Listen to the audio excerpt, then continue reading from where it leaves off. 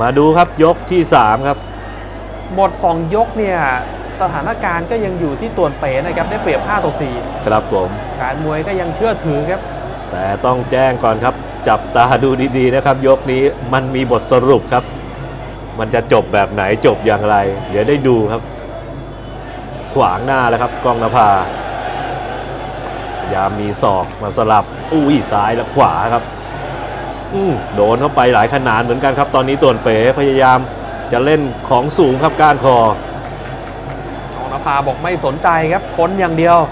ชนอย่างเดียวครับเคยชนะที่ร้อยเอ็ดมาแล้วไม่กลัวครับนี่ศอกระวังครับใกล้ๆโอ้โหโอ้ไม่มีจังหวะสวิงนี่แกยังฟันได้เลยครับไกลๆนี่เฉือนเข้าไป ต่างคนต่างตีมวยเข่าด้วยกันไม่มีกลัวไม่มีกลัวใครดีใครอยู่นั่นแหละครับ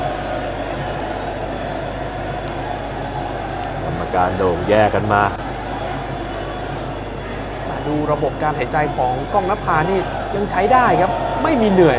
เททิ้งไปมีศอกด้วยครับเอามีแตกแล้วครับ ตอนนี้ต่วนเป๋อุ้ยตรงใต้ตาด้านซ้ายนะครับ วันนี้มาดูเหลือเกินครับกล้องนภาอืมนั่นแหละครับพยายามที่จะเข้าหา โอ้แต่แข้งนี้ของกล้องนภานี่แกดักรออยู่แล้วครับ ยบเสียบคาไว้ จังหวะการดักเขานี่ก็ยังใช้ได้ครับตนเป๋แต่ว่าต้องมาดูครับว่าแรงประทะนี่จะเป็นยังไงครับ ดูกล้องนภายิ่งชกเหมือนยิ่งพองครับ อืมโอ้เนื้อตัวใหญ่เนื้อตัวแน่นเลยครับวันนี้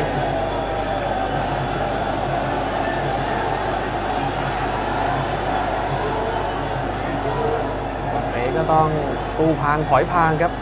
สภาพร่างกายวันนี้เนี่ยมันไม่ค่อยเหมือนเดิม ใช่แม่นี่ครับลูกเก่งของเขาแล้วครับ แต่วันนี้กล้องนภายังไม่ลงครับเอาละครับ ทีต่อทีต้องมาดูครับ มียุบมีย่นหรือเปล่า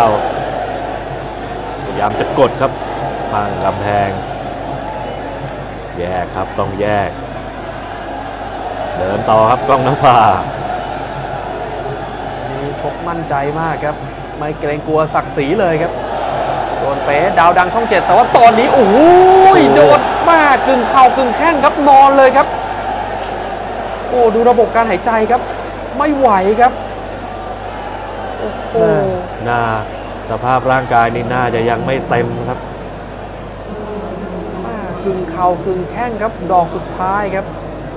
นี่ครับแล้วก็เข้าไปขอโทษขอโพยกันดูช้าๆครับโดนหมัดเข้าไปก่อนครับปาเข้าไป แล้วก็ อีกทีหนึ่งครับอื้อหือเต็มแข้งเต็มข้อเลยครับ หงายเลยครับแผ่สองสลึงเลยครับอย่างนี้นี่จังหวะโดนเข่าทีแรกไปนี่ตัวงอไปแล้วครับ แล้วก็ปั้งอีกทีหนึ่งอื้อหืออื้อหือแล้วโดนตรงตรงชายโครงออสเคโอดูสิ